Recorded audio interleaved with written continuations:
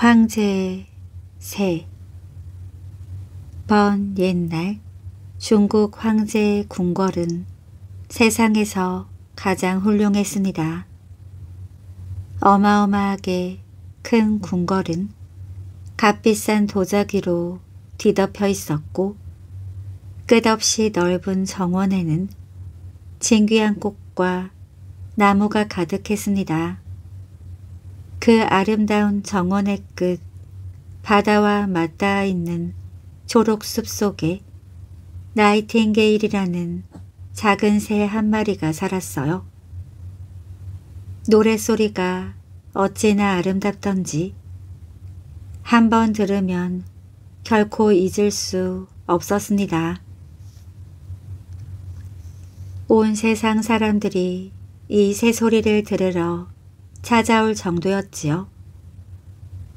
하지만 황제는 자기 정원에 이 새가 있는 것을 까맣게 몰랐습니다. 어느 날 황제는 다른 나라 사람이 쓴 책을 읽다가 아름답게 노래하는 이 새에 대해 알게 되었습니다. 여봐라, 나의 정원에 나이팅게일이라는 놀라운 새가 있다는데 나는 왜 한 번도 들어본 적이 없는고. 신하들은 처음 듣는 소리라며 그런 새는 없다고 했어요. 하지만 황제는 신하들에게 명령했습니다. 외국의 책들에까지 이렇게 쓰여 있지 않느냐. 오늘 밤까지 그 새를 데려와 내 앞에서 노래하게 하라.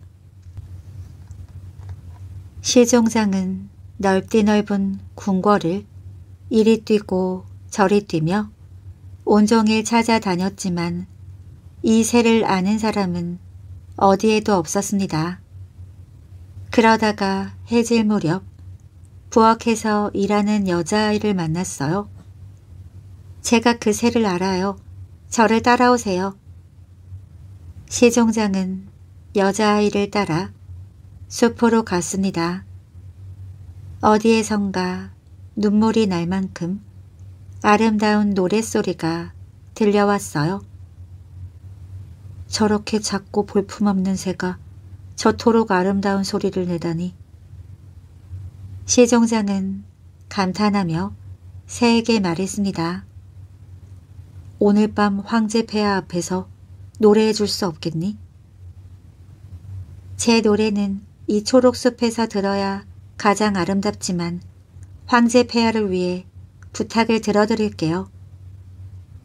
새가 말했습니다.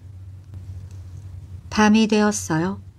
수많은 사람들이 궁궐에서 기다리고 있었습니다. 이윽고 나이팅게일이 황금회에 앉아 노래를 시작했어요. 유리 구슬처럼 맑고 달빛처럼 마음에 스며드는 소리였습니다. 황제의 눈에서 눈물이 뺨을 타고 또르르 굴러 떨어졌습니다. 황제는 새에게 상으로 자신의 황금 슬리퍼를 내렸어요. 아니에요. 폐하의 눈물은 그 어떤 상보다도 값지답니다. 저는 그것으로 됐어요. 그렇게 말하고 새는 아름다운 노래를 계속했습니다. 이제 나이팅게일은 황제의 궁궐에서 살게 되었어요. 나이팅게일을 위해 특별히 마련한 황금 세장에서 말입니다. 낮에 두 번, 밤에 한 번, 산책을 나갈 때는 12명의 시녀들이 나이팅게일의 다리에 비단천을 묶고 따라다녔습니다. 온 나라 사람들이 이 놀라운 새에 대해 이야기했어요. 사람들이 만날 때 이쪽에서 나이팅 하면 저쪽에서는 게일 하고 인사할 정도였지요. 하루는 황제가 이웃 나라에서 선물 꾸러미를 받았습니다. 선물을 열어보니 나이팅게일과 똑같이 생긴 나무로 된 새가 들어있었어요. 보석 장식으로 아름답게 꾸며진 이 가짜 새는 나사를 감자 날씬한 꼬리를 위아래로 움직이며 진짜 나이팅게일만큼이나 아름답게 노래했습니다. 와, 굉장하다. 모두 벌어진 입을 다물지 못했습니다. 사람들은 진짜 나이팅게일과 함께 노래를 시켜보자고 했어요. 하지만 진짜 나이팅게일은 기분이 별로 좋지 않아서 노래하고 싶지 않았습니다. 그런데 가짜 나이팅게일은 같은 노래를 33번이나 부르고도 지치지 않았습니다. 정말 훌륭합니다. 진짜 새보다 겉모습도 예쁘고 노래도 훨씬 잘 부르네요. 게다가 같은 노래를 여러 번 부를 수 있으니 얼마나 좋습니까? 한 신하가 말했습니다. 황제는 진짜 나이팅게일에게도 노래를 시키려 했지만 새는 이미 초록숲으로 날아가 버린 뒤였습니다. 가짜 새는 백성들 앞에서도 노래하게 되었어요. 사람들은 엄지손가락을 치켜 올리며 감탄했지요. 하지만 진짜 나이팅게일의 노래를 한 번이라도 들어본 사람들은 고개를 갸우뚱하며 이렇게 말했습니다. 훌륭하긴 한데 글쎄 뭔가 허전해. 아무튼 가짜 새는 이제 황제의 침실에서 살게 되었고 황제의 침실 수석 가수 그 말도 이제 가짜 새에게 넘어갔네. 사람들은 그렇게 수근거렸습니다. 그렇게 한 해가 지나자 황제와 신하뿐만 아니라 백성들까지도 가짜 새의 노래라면 한마디도 빠뜨리지 않고 모조리 외우게 되었어요. 어느 날 밤 황제가 침대에서 가짜 새의 노래를 듣고 있을 때였습니다. 갑자기 새의 몸속에서 드르륵 툭 소리가 나더니 노랫소리가 딱 멈추었어요. 황제는 당장 의사를 불렀습니다. 하지만 의사가 뭘 할 수 있을까요? 그래서 다시 시계공을 불렀습니다. 시계공은 요리조리 살피고 만지더니 이렇게 말했어요. 태엽이 많이 달았으니 아주 조심해서 다뤄야 합니다. 이제 새는 1년에 한 번밖에 노래할 수 없게 되었어요. 몇 년 뒤 나라에 진짜 큰 슬픔이 닥쳤습니다. 황제가 큰 병에 걸린 거예요. 황제는 창백한 얼굴로 침대에 누워 숨을 헐떡이고 있었습니다. 배 위에 죽음의 신이 앉아 있었거든요. 커튼 뒤에서는 이상한 얼굴들이 황제를 쳐다보고 있었지요. 그 얼굴들은 황제가 이제까지 저지른 나쁜 일들을 말했습니다. 황제의 이마에는 구슬땀이 맺혔어요. 괴로워. 새야, 음악을 들려다오. 이 소리가 들리지 않도록. 하지만 새는 이제 완전히 고장이 나서 아무 소리도 낼 수 없었습니다. 그때 문득 아름다운 노랫소리가 들려왔어요. 창밖의 나뭇가지에 진짜 나이팅게일이 앉아 노래하고 있었습니다. 황제가 아프다는 소식을 듣고 멀리서 날아온 것이었지요. 새의 노랫소리가 들리자 이상한 얼굴들은 점점 사라지고 황제의 몸에 생기가 돌아왔습니다. 죽음의 신도 새의 노랫소리에 귀 기울이며 이렇게 말했어요. 계속 노래하렴세야. 그럼 황제 폐하를 다시 살려주시겠어요? 나이팅게일의 말에 죽음의 신은 고개를 끄덕였습니다. 새의 노래를 듣고 나자 죽음의 신은 약속대로 사라졌습니다. 황제가 말했어요. 고맙다 새야. 나는 너를 잊었는데 너는 나를 도우러 와주었구나. 무슨 상을 주면 좋겠느냐? 황제 폐하는 벌써 저에게 상을 주셨어요. 제가 처음으로 노래를 부르던 날 폐하가 흘리신 눈물을 잊지 못해요. 그것이야말로 저에게는 진정한 상이랍니다. 이제 좀 주무세요. 그래서 기운을 차리고 일어나세요. 그동안 제가 곁에서 노래를 불러드릴게요. 황제는 새의 노래를 들으며 깊은 잠에 빠져들었습니다. 다음 날 아침 눈부신 햇빛이 비추자 황제는 눈을 떴습니다. 이제 병은 다 나았고 기운도 다시 생겼어요. 작은 새야 언제까지나 나와 함께 있어다오. 배야 저는 궁궐에서 살 수 없어요. 하지만 제가 오고 싶을 때는 언제든지 와서 세상 모든 이들의 기쁨과 슬픔을 노래로 불러드릴게요. 황제가 고개를 끄덕이자 새는 다시 초록숲으로 날아갔습니다. 황제는 기쁜 얼굴로 새를 바라보았답니다. 왕자를 사랑한 공주 깊고 깊은 바닷속에 인어 임금님의 궁전이 있었습니다. 그곳에는 여섯 명의 아름다운 인어 공주들이 살았어요. 그 중에서도 막내 인어 공주가 가장 아름다웠습니다. 인어 공주들은 15살이 되면 바깥 세상을 구경할 수 있었습니다. 저도 이제 밖으로 나가도 되지요? 막내 인어공주가 들뜬 목소리로 할머니에게 물었어요. 오늘은 막내 인어공주의 열다섯 번째 생일이거든요. 그럼 아름다운 세상을 많이 보고 오렴. 할머니는 진주를 아라리 꿰어 목걸이를 만들어 주었습니다. 인어공주는 설레는 마음으로 바다 위로 떠올랐어요.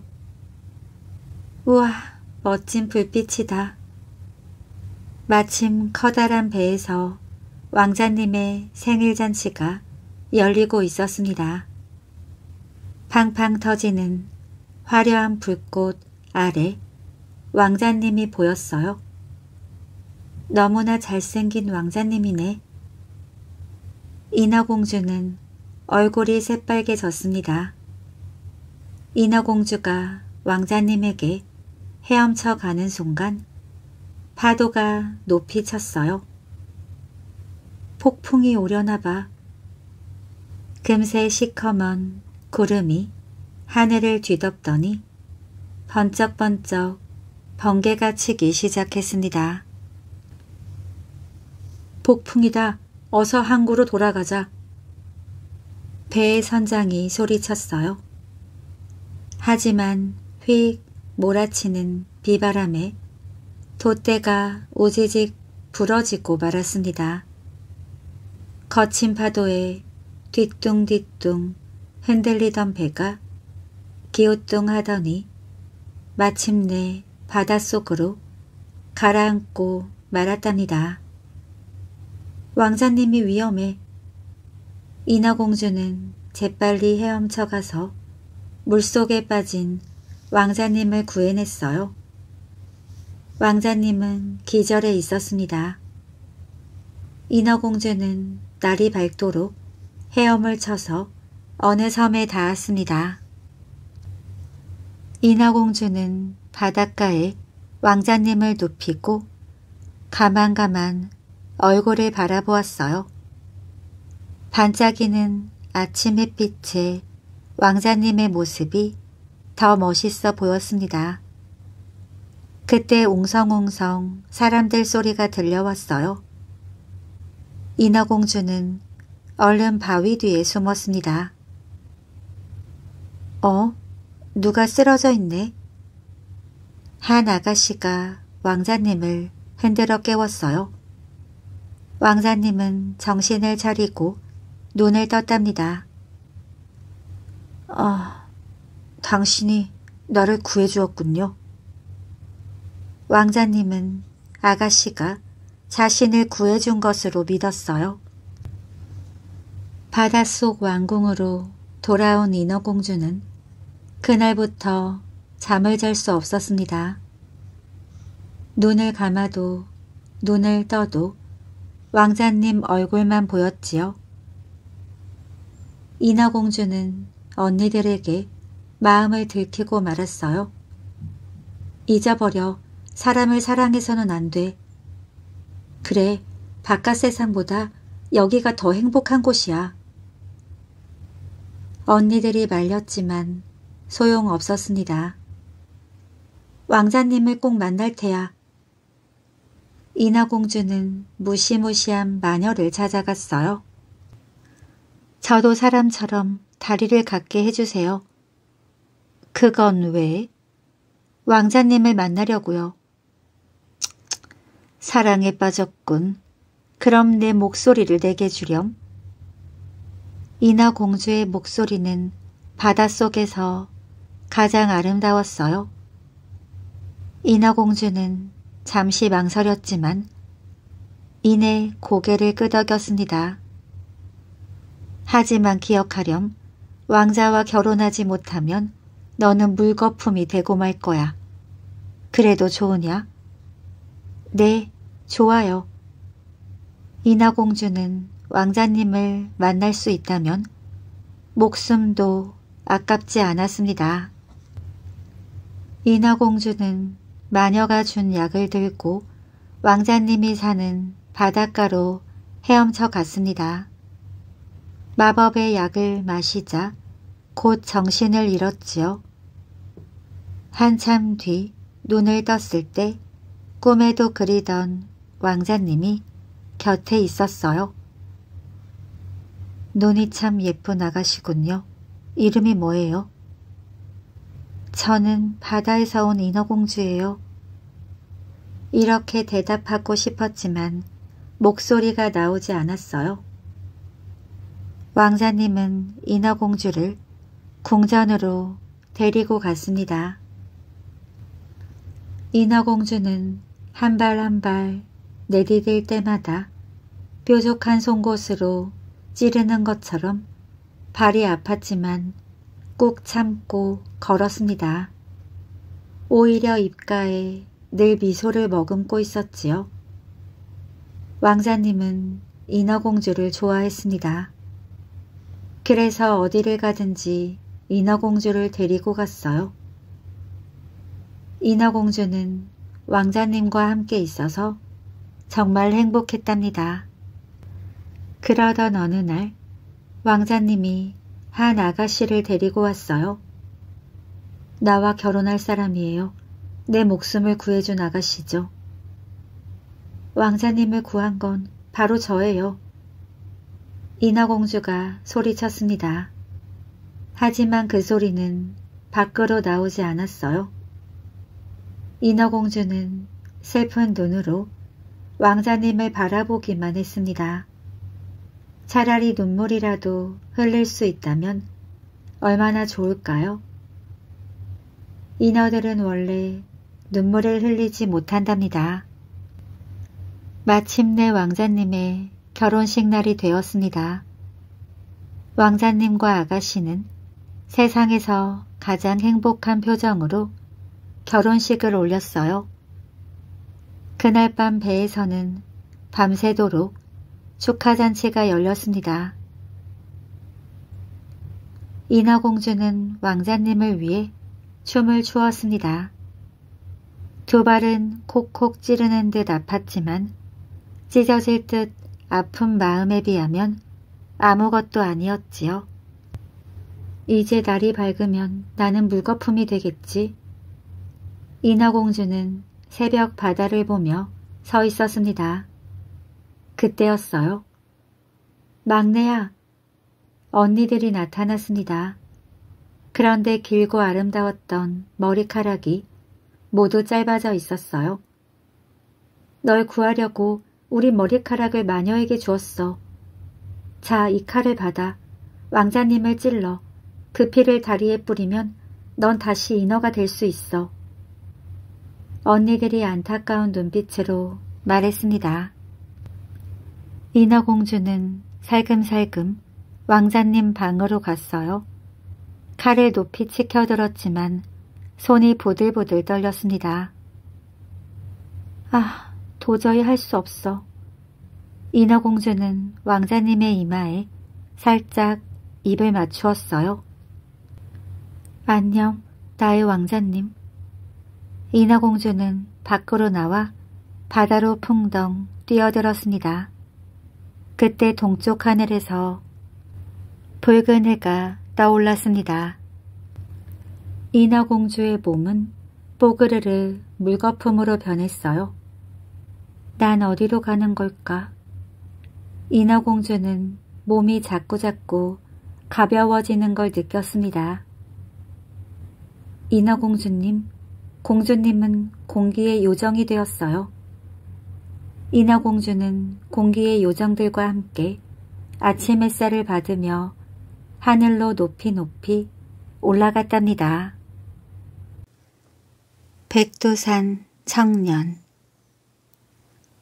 오래전 백두산에 큰 화산 폭발이 있었던 때의 일입니다. 화산 폭발로 인해 백두산 전역에 있는 사람들과 동물들이 전부 죽고 살아남은 사람이 딱 한 명 있었습니다. 그 사람은 바로 천명이라는 청년이었습니다. 천명은 정신을 차리고 나서 주변에 아무것도 없자 울며 소리쳤습니다. 아무도 없습니까? 제 목소리가 들리면 소리를 내주십시오. 하지만 주변 어디에서도 인기척도 들리지 않았습니다. 천명은 너무 놀라 주변을 돌아다니며 누가 없는지 찾아다녔지만 아무리 찾아다녀도 나타나는 이가 없었습니다. 세상에 이게 무슨 일이란 말인가? 정녕 이곳에 나 혼자뿐이란 말인가? 천명은 멍하니 주저앉아 있다가 다시 정신을 차린 다음 생각했습니다. 그래, 좀 더 먼 곳으로 가서 사람을 찾아보자. 설마 어딘가에 한 사람이라도 살아있겠지. 천명은 그렇게 생각하고 서둘러 발길을 옮겼습니다. 그렇게 한참 산을 오를 무렵이었어요. 천명의 앞에 새 한 마리가 날아왔습니다. 푸른빛 깃털이 영롱한 매우 아름다운 파랑새 한 마리였어요. 파랑새는 천명의 앞에 날아와 어디론가 안내를 하듯 날갯짓을 하였습니다. 천명은 혹시나 하는 마음에 파랑새를 따라갔어요. 파랑새를 한참 따라가 보니 작은 동굴이 나왔습니다. 천명은 동굴로 들어가서 주위를 둘러보았어요. 여기가 어딘데 이곳으로 나를 데리고 왔을까? 사람이 혹시 있을지도 몰라. 여기요. 누구 없나요? 한참을 동굴 안으로 들어갔을 때였습니다. 그러자 동굴 깊숙한 곳에서 한 처녀가 정신을 잃은 채 누워서 신음하고 있는 것이었어요. 이보시오. 정신 차리시오. 내 말이 들리시오? 처녀는 기운이 없는지 말을 하지 못했습니다. 그래서 천명은 처녀를 살리기 위해 주변에 먹을 것이 없나 찾아보았습니다. 그러자 보리 이삭들이 보였어요. 아마도 파랑새가 물어다 놓은 것 같았습니다. 천명은 보리 이삭들을 까서 근처에 있던 작은 샘물을 찾아가 물을 떠오고 그릇 모양 돌을 찾아왔습니다. 그리고는 그 그릇에 보리알들을 넣고 불을 피워서 미음을 끓였지요. 그렇게 끓인 미음을 처녀의 입에 조금씩 넣어주자 처녀는 점차 기운을 회복하는 듯 했습니다. 하지만 아쉽게도 아직은 정신을 완전히 차리지는 못했어요. 그래서 물도 먹이고 수시로 미음을 먹이면서 계속해서 간호를 하였답니다. 그렇게 얼마나 시간이 흘렀을까요? 밤낮 없이 처녀를 간호하던 천명은 지쳐서 잠깐 잠이 들었습니다. 그러다가 꿈을 꾸게 되었어요. 꿈속에서 한 백발 노인이 나타나 말했습니다. 처녀가 겨우 고비는 넘겼지만 정신이 들려면 옥설봉의 선단이 필요하다는 거예요. 그렇게 말하고는 사라졌습니다. 그리고 천명은 노인을 쫓다가 잠에서 깼답니다. 꿈이 사실일까? 어찌해야 좋단 말인가? 하지만 아직 발견한 사람은 이 처녀 한 사람뿐이다. 어떻게든 처녀를 살려야겠어.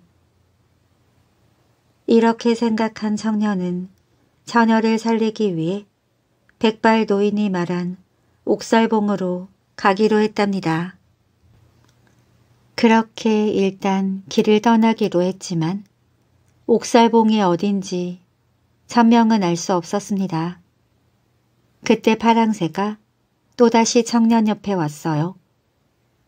그리고는 따라오라는 듯한 날갯짓을 냈습니다. 다행히 파랑새가 길을 아는 듯 따라오라는 손짓에 파랑새를 따라 서둘러 길을 떠나게 되었습니다. 열아홉 개의 봉우리를 겨우겨우 넘고 마지막 스무 번째 봉우리 정상에 오르자 놀라운 광경이 나타났습니다. 눈앞에 한 궁궐이 나타난 거예요. 그래서 궁궐에 문을 열고 들어서니 큰 복도가 있었습니다. 연달아 세 개의 문이 있었고 그 문들을 모두 열고 들어서니 눈앞에는 연기가 자욱해졌습니다. 그리고 중앙에는 꿈에서 본 백발 노인이 금태를 두른 의자에 앉아 있었어요. 백발 노인은 빙글에 미소를 지으며 말했습니다. 네, 너가 이곳으로 올 것을 알고 있었느니라. 그리하여 파랑새 시종을 보내 이곳으로 안내한 것이니.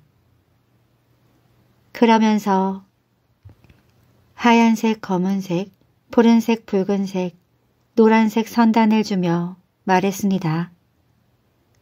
검은 선단은 정신이 들게 하고 노란 선단은 몸의 기운을 되찾게 하고 빨간 선단은 혈색이 고르게 돌게 하며 하얀 선단은 기력을 되찾게 하고 푸른 선단은 완전한 회복을 하는 효능이 있다고 하면서 순서대로 처녀에게 먹이면 처녀가 회복할 것이라고 말했습니다.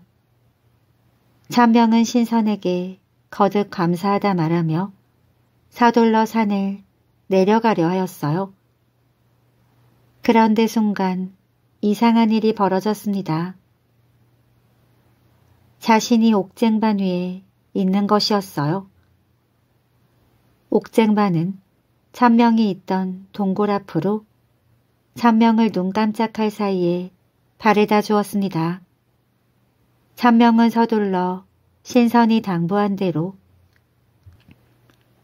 선단을 순서에 따라 물에 풀어서 처녀에게 먹였습니다. 놀랍게도 처녀는 천명이 주는 순서대로 선단을 받아 먹은 뒤 기운을 차렸답니다. 기운을 차린 처녀는 천명에게 물었어요. 어찌 된 일입니까? 여긴 어디입니까? 청년에게 자초지종을 모두 들은 처녀는 말했습니다. 저도 백두산 폭발로 정신을 잃었답니다. 그럼 살아남은 것이 우리 둘뿐인 것입니까?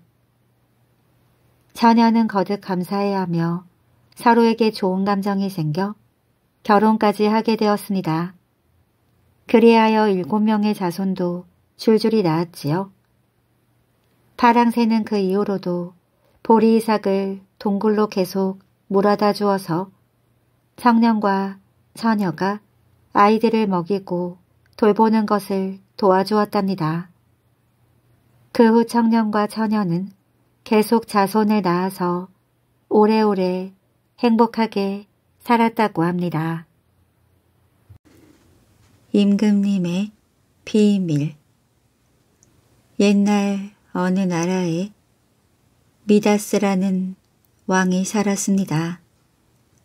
미다스 왕은 황금을 많이 가진 어마어마한 부자였어요. 왕은 신들을 잘 받들고 백성들을 편안하게 보살폈습니다. 그래서 이 나라 사람들은 아무 걱정 없이 행복하게 살았답니다. 백성들은 왕을 사랑하고 존경했어요. 어느 날 미다스 왕의 궁전에서 신들의 음악 대회가 열렸습니다. 미다스 왕이 1등을 정하기로 했지요. 여러 신들이 나와서 저마다 솜씨를 뽐냈습니다. 태양과 음악의 신인 아폴론과 목축의 신인 판이 결승에 올랐어요. 이들의 솜씨는 워낙 뛰어나서 미다스 왕은 누구에게 1등을 줘야 할지 몰랐습니다.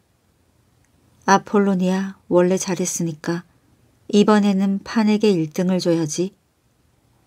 한참을 고민하던 왕은 판의 손을 번쩍 들어주었답니다. 아니 이럴 수가 내가 어떻게 소똥 냄새 나는 판보다 못하단 말이야. 아폴로는 불같이 화를 냈어요. 미다스 왕, 그것도 귀라고 달고 다니시오. 어디 내일 아침에 일어나 보시지. 아폴로는 이 말을 마치고 휑하니 사라져 버렸습니다. 다음 날 아침 잠에서 깬 미다스 왕은 깜짝 놀랐어요. 왕의 귀가 당나귀 귀로 변해 있었습니다. 이를 어째? 미다스 왕은 울고 싶었습니다. 임금님, 무슨 일이십니까? 신하가 방으로 들어오려고 했어요. 아, 아니다. 절대 들어오지 마라. 내 귀를 보면 모두들 깔깔 웃어대겠지. 미다스 왕은 고민 끝에 신하에게 큰 수건을 가져오라고 했습니다. 왕은 아무도 모르게 수건으로 머리를 둘둘 감아 당나귀 귀를 감쪽같이 숨겼어요. 그런 다음 신하에게 말했습니다. 왕관이 작아서 머리가 아프구나. 아주 큰 왕관을 만들어 오너라. 미다스 왕은 커다란 새 왕관을 쓰고서야 마음이 조금 놓였습니다. 이제부터는 절대 왕관을 벗지 말아야지. 미다스 왕은 잘 때도 왕관을 쓰고 잤어요. 그렇게 몇 달이 지났답니다. 그런데 난처한 일이 생겼습니다. 왕의 머리가 너무 길어서 깎아야 할 때가 된 거예요. 머리를 깎으면 이발사에게 비밀이 탄로날 텐데 어떻게 하면 좋을까요? 미다스 왕은 고민 고민하다가 이발사를 불렀습니다. 사실 내 귀는 당나귀기다. 이걸 누구에게도 말하면 안 되느니라. 만약 이 사실이 알려지면 너를 사형에 처하겠다. 절대로 말하지 않겠습니다.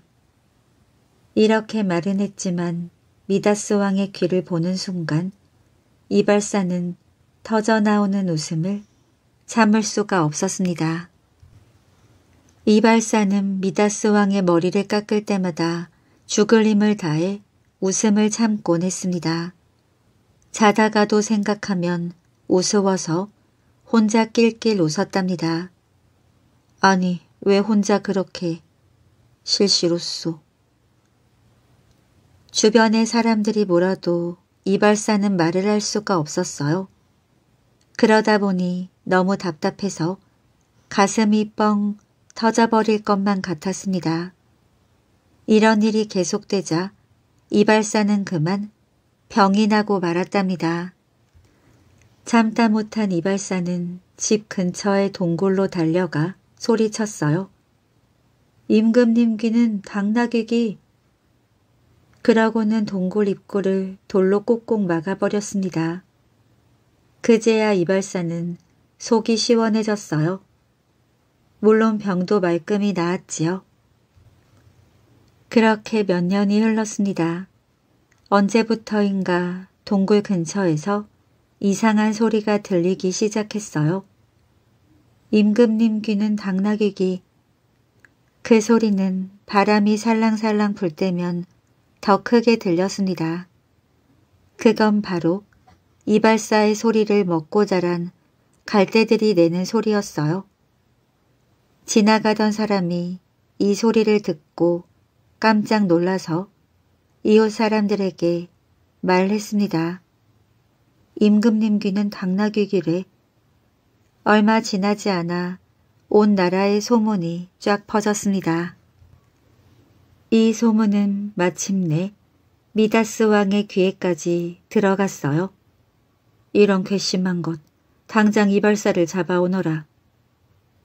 미다스 왕 앞에 잡혀온 이발사는 자기가 한 일을 털어놓았습니다. 그러고는 끝으로 이렇게 덧붙였지요. 임금님께서 그토록 큰 귀를 가지신 것은 백성들의 소리를 더 잘 들으라는 신의 뜻이라 생각합니다. 미다스 왕은 잠시 생각에 잠겼습니다. 그래, 내 말이 맞구나. 왕은 궁전 밖으로 나갔어요. 그러고는 왕관과 수건을 벗었습니다. 정말 임금님 귀는 당나귀 귀네. 사람들이 모두 놀랐어요. 맞소, 내 귀는 당나귀 귀요. 하지만 나라를 다스리는 데는 아무 문제가 없소. 오히려 이 큰 귀로 백성들의 말을 더 잘 들을 생각이요. 그 뒤 백성들은 전보다 더 미다스 왕을 존경하고 사랑하게 되었답니다. 달이 보내준 아이들 옛날 옛날에 자손이 매우 귀한 집이 있었습니다. 구대 독자를 둔 어느 명문가 집안이었어요. 어느덧 구대 독자인 외아들이 무럭무럭 자라 15살이 되었습니다. 아버지는 아들을 결혼시키기 위해 좋은 혼처를 구하기 시작했어요. 그러던 중 적당한 혼처가 없자 중매쟁이를 찾아갔습니다. 우리 아들이 귀한 구대 독자요. 지금 열다섯이 되어 혼처를 구하고 있소. 어디 적당한 혼처가 없겠소. 그러자 중매쟁이가 반기며 말하였습니다. 어머, 어찌 이리 때마침 잘 찾아오셨는지요. 딱 지금 명망 높은 집안의 교수가 혼처를 찾고 있습니다. 그런데 나이가 세 살이 많아요. 그거 말고는 외모도 출중하고 행실이 또한 매우 정숙하고 아름다운 처녀랍니다. 그리하여 열여덟의 처녀의 집과 구대 독자 집은 각자 자녀와의 혼인 성사를 시키고 나를 잡게 되었습니다. 그 시절에는 혼인을 하면 새 신부의 집에서 며칠을 지내다가 오기도 했습니다. 그렇게 혼인을 한 후 새 신부의 집에서 첫날 밤을 보내던 중이었어요. 새 신부가 갑자기 몸이 좋지 않다며 힘들어 하며 말했습니다. 배가 너무 아픕니다. 이렇게 말하더니 곧 배를 잡고 고통스러워하기 시작했습니다. 새 신랑은 너무 당황해 사람들을 부르려고 달려나갔지요. 그런데 이게 무슨 일인가요? 새 신랑이 문을 열고 막 나가려는 순간 신부가 비명을 질렀습니다. 너무 놀란 새 신랑은 다시 새 신부에게 달려가 보았지요. 그런데 방 안에는 핏덩이가 둘이 있었습니다. 남자아이와 여자아이였어요. 하지만 신기하게도 이 아기들은 태어난 직후 울음 한 번을 터뜨리지 않았습니다. 새 신랑은 당황했지만 우선 아이들을 살려야 했습니다. 도움을 구하고 싶었지만 새 신부가 첫날 밤에 낳은 아기라 누군가에게 알리는 것이 조심스러웠습니다. 그래서 하는 수 없이 새 신랑이 서둘러 아기들을 받아들고 탯줄을 잘랐습니다. 오늘이 첫날 밤이면 아무리 첫날 밤에 아이가 생긴다 해도 열달 이상은 지나야 하는데 혼인 직후 첫날 밤이 채 지나기도 전에 아이를 낳고 말았으니 부부는 이를 어찌해야 하나 고민이 많았습니다. 이를 어찌하면 좋소.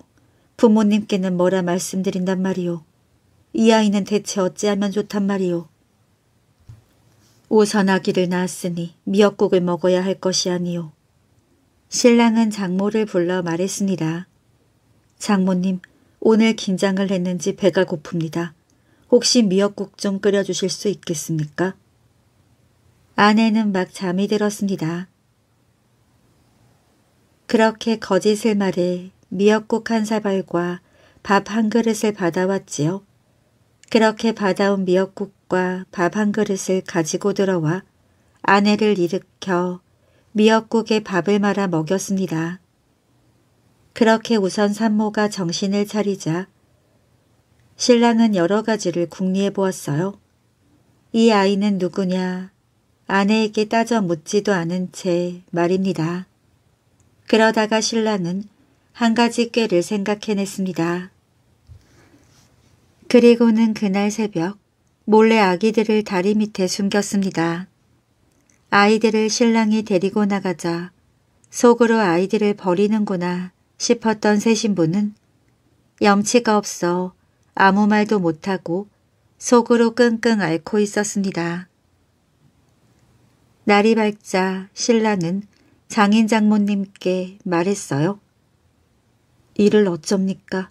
어젯밤 어머니가 편찮으시다는 연락을 받았습니다. 그래서 잠시 집으로 다녀와야겠습니다. 급하게 가야 해서 말을 준비해 주시면 감사하겠습니다. 다행히 처가에서는 아무 의미 없이 그 말을 믿고 말을 바로 준비해 주었습니다. 감사합니다. 얼른 다녀오겠습니다. 신부는 그 모습을 보고는 신랑이 화가 나서 떠나는구나 싶었답니다. 우선 새 신부는 아무 말 못하고 기다리는 수밖에 없었지요. 그렇게 신랑은 말을 타고 집으로 출발했습니다. 그리고는 아이를 숨겨놓은 다리로 가서 아기들을 품에 안고 자신의 집으로 돌아갔어요. 이것 좀 보십시오. 어머니 아버지, 웬 아이들이 다리 밑에서 울고 있기에 너무 안쓰러워 데리고 왔습니다. 다행히 신랑의 어머니 아버지께서는 아기들을 받아주셨습니다. 아이들을 두고 다시 처가댁으로 돌아가 신랑은 아내와 함께 시댁으로 돌아갔습니다. 시어머니는 아들이 데려온 아기들을 며느리의 품에 안겨주며 말했어요. 어쩌겠느냐. 불쌍한 생명 거두면 다 복으로 돌아오겠지. 우리 함께 돌보자꾸나. 신부는 아이들을 보고는 깜짝 놀랐습니다. 자신이 낳은 그 아이들이라는 것을 한눈에 알아볼 수 있었어요. 자신의 품에 안겨 해맑게 웃음을 짓는 아이들을 보며 신부는 눈물을 흘렸고 속을 알리 없는 시어머니는 말했습니다. 며느라가야 너무 속상해 말아라. 또 너희들 아이도 낳으면 되지 않겠느냐. 하고 말입니다. 며느리는 시어머니에게 너무 죄송해서 또다시 눈물이 나왔습니다. 그렇게 별탈 없이 세월이 흘러 쌍둥이 남매가 어느새 10대로 성장했을 무렵이었습니다. 보름달이 뜬 대보름 날이었어요. 부부는 아이들과 달구경을 나와 있었습니다. 그날 처음으로 남편은 아내에게 물었어요. 여보, 이제 모든 걸 밝혀도 되지 않겠소? 내 다 이해할 테니 말해보시오. 전날 밤 이 아이들은 어찌 된 것이오? 아내는 남편에게 고마운 마음에 그동안 미처 말하지 못했던 진실을 모두 털어놓기 시작했습니다. 저는 결혼 전에 친구들과 물놀이를 갔던 적이 있습니다.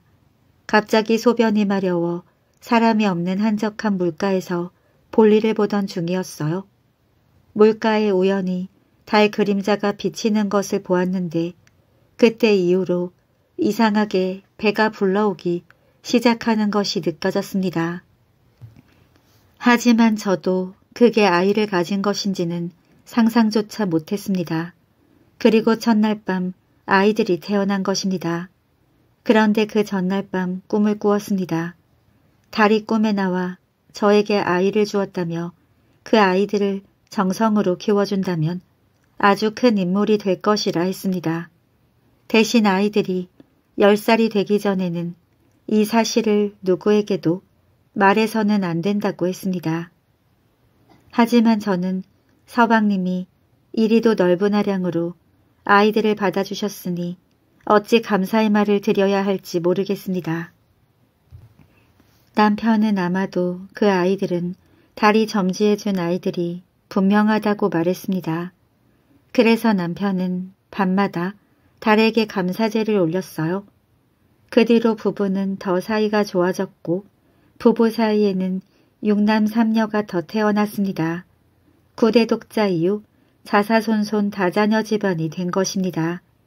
태어난 아이들 모두가 유명한 명정승과 명판서들로 임명되었다고 합니다. 요즘 세상에서도 힘든 남편의 넓은 마음이 아이들도 살리고 가족의 행복도 가져온 것이랍니다. 마법에 걸린 공주 옛날 어느 나라에 왕과 왕비가 살았습니다. 그런데 결혼한 지 여러 해가 지나도록 자식이 없었어요. 왕비는 매일 연못가로 나가 개구리에게 다정한 노래를 불러주었습니다. 어느 날 개구리가 말했어요. 왕비님, 매일 고운 노래를 들려주셔서 고마워요. 이제 곧 예쁜 공주님이 태어날 겁니다. 개구리의 말대로 곧 예쁜 공주님이 태어났어요. 왕과 왕비는 너무 기뻐서 크게 잔치를 열기로 했습니다. 모든 귀족들과 요정들을 초대하여라. 그 나라에는 일곱 명의 요정과 한 명의 마녀가 있었어요. 왕은 일곱 요정만 초대하고 마녀는 초대하지 않았습니다. 마침내 공주님을 위한 잔치가 열렸습니다. 요정들은 새근새근 자고 있는 공주님 주변을 날아다니며 차례대로 축복을 해주었습니다. 저는 공주님에게 아름다움을 드리겠어요. 저는 지혜와 용기를 드리겠습니다. 마지막으로 일곱 번째 요정이 막 축복의 말을 하려던 참이었습니다. 그때 검은 옷을 입은 마녀가 나타났어요.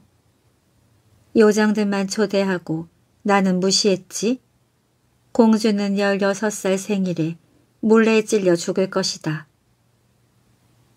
마녀는 공주님에게 저주를 퍼붓고 사라졌어요. 공주님은 죽지 않고 100년 동안 잠들어 있을 거예요. 일곱 번째 요정이 겨우 공주님의 죽음은 막아주었습니다.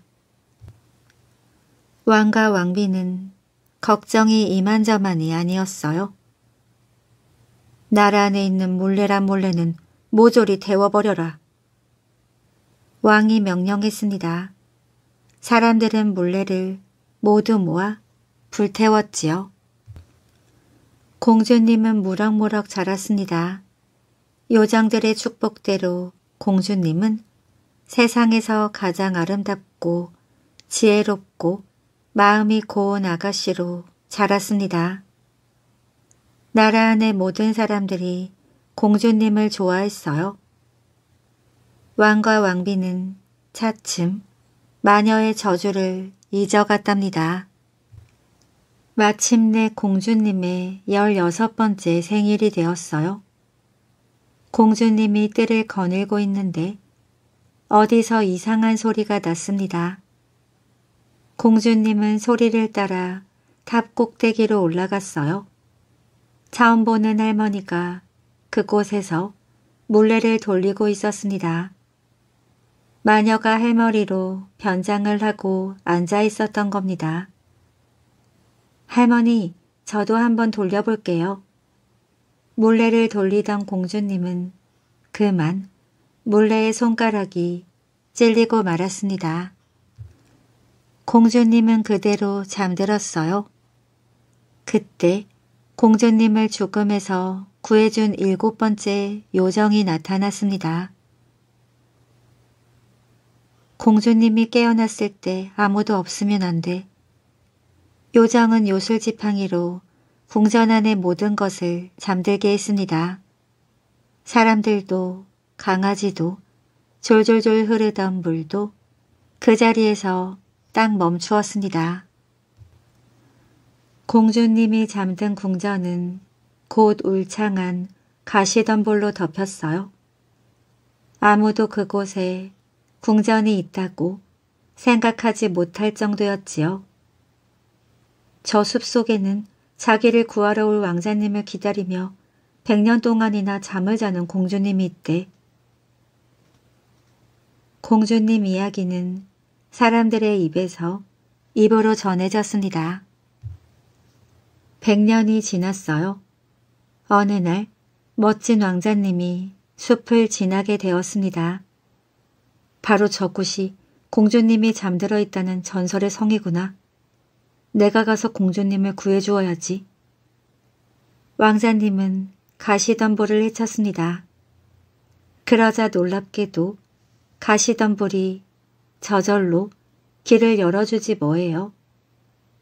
왕자님이 지나간 뒤에는 아무도 못 들어오게 다시 길을 막아주었습니다.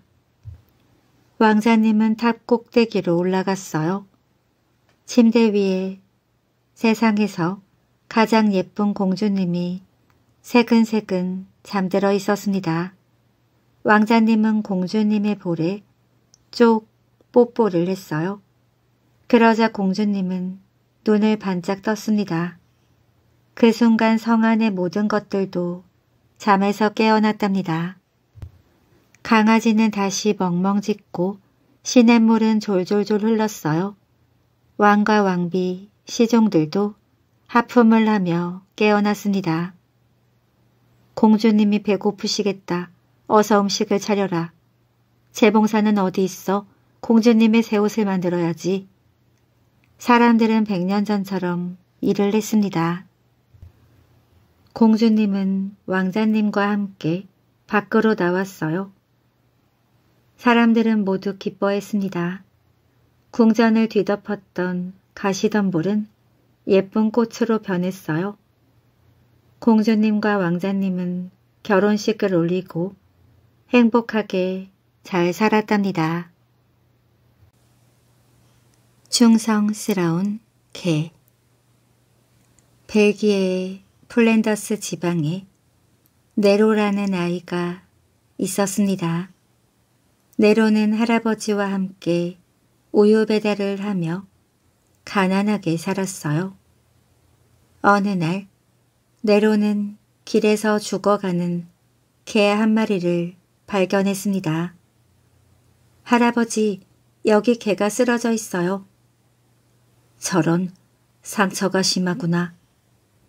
할아버지와 네로는 개를 집으로 데리고 가 정성껏 보살펴 주었어요. 네로는 개에게 파트라슈라는 이름을 지어주었습니다. 네로와 파트라슈는 둘도 없는 친구가 되었어요. 얼마 뒤 할아버지는 병이 들어서 더 이상 우유 배달을 할 수 없게 되었습니다. 할아버지 걱정 마세요. 이제부터는 파트라슈랑 제가 할게요. 파트라슈도 꼬리를 흔들며 짖었습니다. 네로는 파트라쇼와 둘이서 우유 배달을 했어요. 우유 배달을 끝내고 집으로 돌아오는 길에 네로는 항상 성당에 들렀습니다. 유명한 화가 루벤스의 그림을 보기 위해서지요. 그런데 그 그림은 늘 커튼에 가려져 있었습니다. 파트라슈, 내 꿈은 루벤스 같은 훌륭한 화가가 되는 거야. 이 그림을 한 번만이라도 볼 수 있다면 소원이 없겠어.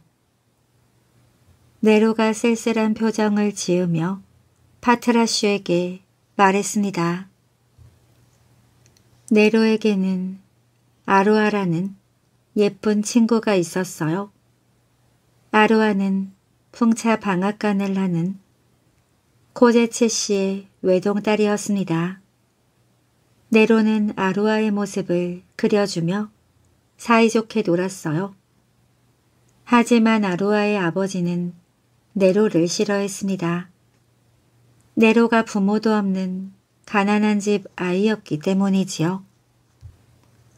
아로아, 네로랑 다시는 놀지 마라. 코제츠 씨는 아로아를 데리고 가버렸습니다.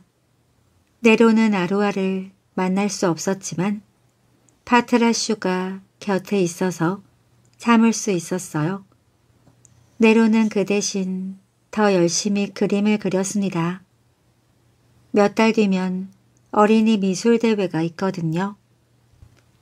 쌀쌀한 초겨울 날이었습니다. 네로는 몇 달 동안 열심히 그린 그림을 미술대회에 냈어요. 그리고 돌아오는 길에 네로는 귀여운 인형 하나를 주었습니다. 주인을 찾아주려 했지만 찾을 수가 없었지요. 그래, 아루아에게 줘야겠다. 네로는 몇 달 만에 아루아를 찾아가 그 인형을 선물로 주었습니다. 그런데 그날 밤 아루아네 풍차 방앗간에 불이 났어요. 네로가 다녀갔다고 틀림없이 그 녀석 짓일 거야. 네로를 싫어했던 코제츠 씨는 네로를 의심했습니다. 코제츠 씨는 네로가 불을 냈다고 떠들고 다녔지요. 동네 사람들은 코제츠 씨의 말을 그대로 믿고 더 이상 네로에게 우유 배달 일을 주지 않았습니다. 일감이 떨어지자 네로의 집에는 땔감과 빵도 떨어졌어요. 더욱더 힘든 것은 할아버지의 병이 아주 깊어진 것입니다. 할아버지 돌아가시면 안 돼요. 네로가 소리쳤지만 소용없었습니다. 할아버지는 네로만 남겨두고 어느 겨울날 세상을 떠났습니다. 할아버지의 장례식을 치르고 난 며칠 뒤였어요. 집세가 너무 밀렸어. 당장 집을 비워줘야겠다. 며칠만 기다려주세요. 미술대회에서 상을 타면 그 상금으로 집세를 내겠어요. 하지만 인정머리 없는 주인은 네로를 거리로 쫓아냈습니다. 마침내 미술대회 발표날이 되었어요. 제발 내 그림이 되었으면 네로는 조마조마한 마음으로 발표장으로 갔습니다. 마침내 뽑힌 그림이 밖에 내걸렸지요. 하지만 그것은 네로의 그림이 아니었습니다. 어깨를 축 늘어뜨린 채 네로는 파트라슈와 함께 터덜터덜 밖으로 나왔습니다. 거리에는 세찬 눈보라가 몰아치고 있었어요. 한참을 걷는데 갑자기 파트라슈가 코를 킁킁거리며 눈속을 파헤쳤습니다. 그 속에서 지갑이 하나 나왔어요. 지갑에는 돈이 가득 들어 있었습니다. 이건 코제츠 씨 지갑이야. 지갑에 써 있는 이름을 보고 네로는 곧장 아루아의 집으로 달려갔어요. 지갑을 건네준 다음 네로는 이렇게 말했습니다. 아주머니 파트라슈를 좀 맡아주시겠어요? 네로는 파트라슈까지 얼어 죽게 만들고 싶지 않았어요. 네로는 혼자서 성당으로 갔습니다. 눈보라에 온몸이 꽁꽁 얼었어요. 그런데 잠시 뒤 파트라슈가 성당 안으로 뛰어 들어왔습니다. 파트라슈 왜 왔어? 아루안의 집은 따뜻한데. 파트라슈는 그저 컹컹 짖으며 혀로 네로의 뺨을 핥아주었습니다. 네로는 파트라슈를 꼭 끌어안았어요. 그때 달빛이 창문으로 환하게 들어왔습니다. 그러자 네로가 그렇게 보고 싶어 하던 루벤스의 그림이 눈앞에 나타났어요. 크리스마스 이브라서 누구나 볼 수 있게 해놓았던 것입니다. 파트라슈, 드디어 이 그림을 보게 되었구나. 네로와 파트라슈는 행복했습니다. 다음 날 아침 네로와 파트라슈는 싸늘하게 식은 채 발견되었습니다. 네로, 내가 잘못했다. 널 오해했어. 코제체 씨는 무릎을 꿇고 흐느꼈습니다. 미술대회 심사위원도 안타깝게 말했어요. 내 그림이 너무 훌륭해서 아이가 그렸다고는 도저히 믿을 수 없었다. 그래서 다른 아이 것을 뽑은 건데. 하지만 너무 늦었답니다. 크리스마스의 종소리만 은은히 들려올 뿐이었습니다. 오늘도 이야기 재미있게 잘 들으셨나요? 임금님의 비밀 이야기는 우리가 어렸을 때 한 번쯤 들어봤던 옛날 이야기입니다. 당나귀 귀를 갖게 된 임금님이 자신의 귀를 보고 사람들이 비웃을까봐 두려워서 그 귀를 꽁꽁 숨겼습니다. 하지만 이발사의 말을 듣고 생각을 바꿔서 사람들 앞에 당당하게 내놓고 결국은 더 행복한 임금이 되었지요. 바꿀 수 없는 부분이라면 단점이라고만 생각하지 말고 그 단점을 그대로 받아들이고 장점으로 승화시키거나 그 외의 다른 장점들을 살려서 살아가는 긍정적인 삶의 자세를 배울 수 있는 이야기였습니다. 오늘도 재미와 감동을 주는 옛날 이야기와 함께 편안한 잠자리 되시기를 바랍니다.